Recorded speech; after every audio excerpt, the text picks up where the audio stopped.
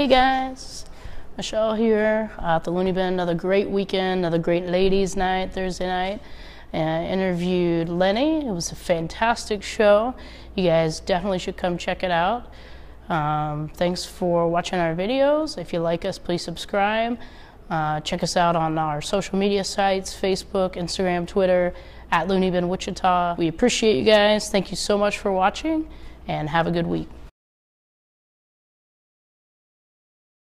I have two daughters, they're 15 and 12. My youngest is 12, and she's the wild card, and she's always, she's a lot of trouble. And, she's, and when she was young, she lied, and she was good at it. And, you, and she, would she wouldn't crack. You could look her in the face, and she would go, I don't know what you're talking about. So they had a, they had a student election at the school once uh, that she was in, she was in fourth grade, and they were run, there was a boy and a girl running for student council. She went through the school, tore down all the girl posters, or all the boy uh-huh. posters, because she wanted the girl to win. Uh-huh. And they have it all on video. Uh-huh. So they call me down to the office. I go to the principal's office. I see the video. They bring in Lily. Lily sits down, and we start to talk to her. And she goes, and we go, Lily, you have, did you have something you want to tell us? She's like, no. And she's like, "Uh, nothing at all. No. And she wouldn't crack. She was like, she was like Jack Nicholson in A Few Good Men. She was like hardcore. You're like, Lily, did you do something wrong? I did nothing wrong. Can I leave now? Like, no, Lily, I, I, are you sure there's nothing you want to say? No, I've got nothing to say. Did you climb up on that wall, Lily, and tear down posters? You need me on that wall. You want me on that wall. Lily, I want the truth. You can't handle the truth. Go, Lily, you- we saw you. We have a video of you tearing down six posters. I only tore down three. Well, it didn't work because he won anyway. The boy won. She's like, that's not my president. That's not my president. You spend with that person 20, 30, 40, 50 years, every single day, pushing their buttons. Yeah, marriage is a contest. You know what I mean? You get up every morning, you look each other in the face, and you go, I'm not going to file for divorce. You file for divorce. Fuck, was it? Okay, well, here's what happens at the end of a marriage. You start to fight, you fight every night. At the end of a marriage, you fight every single night. Every night you come home, there's a fight. Every night you walk through the door, there's a fucking fight. Every night! And you fight about the same shit. The fights never change. It's always about the house, job, the kids, whatever. They always have the same fights. But the thing is, you're fighting so much now, you're fighting so often, the fights sound rehearsed. it's the same words coming out of your mouth every night. It's like doing a scene from a play every night. You just don't know what play. Because she's the director. She calls all the shots. So I'd walk in the door and she'd be pissed off, and I'd be like, all right, what are we doing tonight? I have no idea where we're at. What's, what are we at? Help me out, anything. And I'm clueless until she looks at me and goes, you were supposed to be home hours ago. And then I know, like, oh, we're doing a scene from You're Never Home. Got it, all right. Let me see if I can remember my lines. It's a very difficult choice. My name is Lenny Schmidt. I've been doing comedy almost almost 30 years, 28 years, 29 years. That's awesome. How'd you Yeah. get started? Uh, I got. I always thought about doing comedy, uh, but one day I moved to LA right when I got out of high school, and I was walking down Sunset Boulevard, out in front of the comedy store, and as I was standing outside, they dropped a banner while I was standing by the ticket office that said, "Sam Kinison tonight, one night only. Uh, he's taping his second album."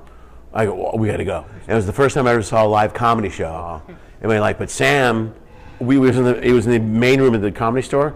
Th- 300 people stood and watched him do comedy. Wow. And I was like, I couldn't believe the power that guy brought on stage. It, it blew me away.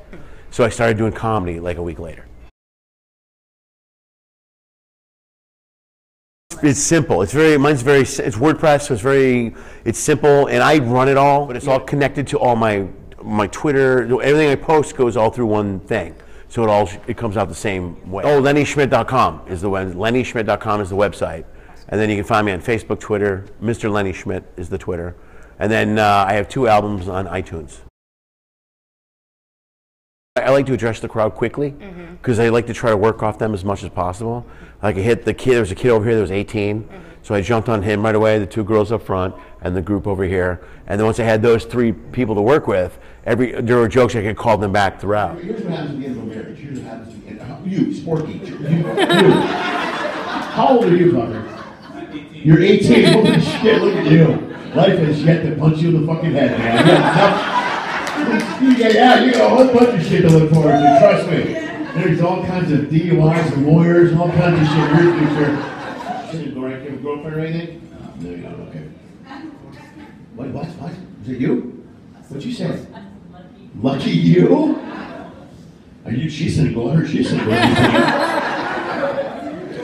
How many, you're, you're, you're, you're, you're divorced, correct? Both of you ladies clapped at divorce, you were happy, right? She's, dude, oh, no, the Victor, she's a little she's right there. like I'm not a mean comic.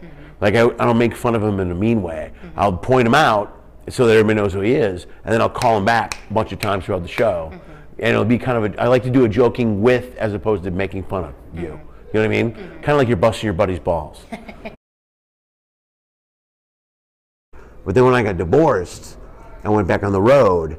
And I- my life changed a lot. I did. I, I went to therapy. I, I, there's a whole bit about therapy I didn't do tonight. And I read the book. Uh, I'm really into Buddhism and the Power of Now. So I learned uh, to de- on a personal level to deal with all that. But the challenge then was to keep the comedy funny because my comedy is all based in anger and frustration and some sort of pain. So once you learn off stage to deal with that the proper way to channel it, I still got to learn to process it on stage to make it funny to people. Mm-hmm. Because it's not funny for me to stand up here for 30 minutes and go, I'm totally cool with the world. you know what I mean? You, Yeah. So it's only a way, this is kind of like the place where I vent Yeah. and let all this shit come out. Yeah.